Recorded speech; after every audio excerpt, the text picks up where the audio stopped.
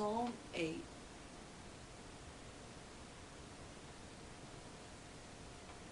O Yahweh, our Elohim, how excellent is thy name in all the earth.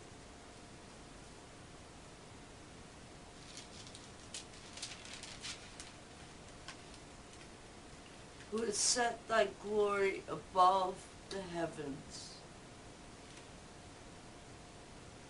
Out of the mouth of babes and sucklings hast thou ordained strength.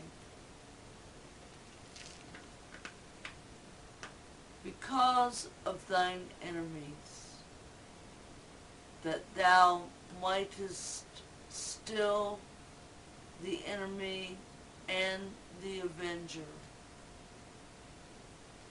When I consider thy heavens, the work of thy fingers, the moon and the stars which thou hast ordained.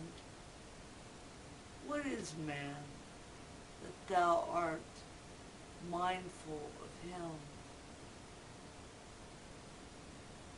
And the Son of Man that thou visitest him. For thou hast made him a little lower than the angels, and hast crowned him glory and honor. Thou madest him to have dominion over the works of thy hands.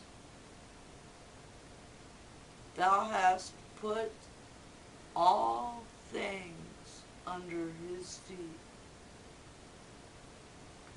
All sheep and oxen, yea, and the beasts of the field,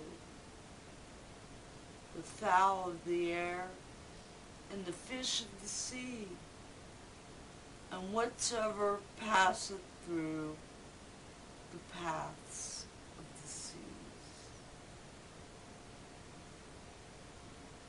O Yahweh, our Elohim, how excellent name in all the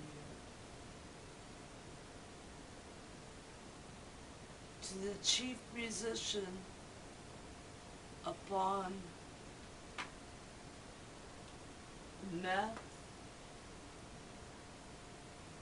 Lababin.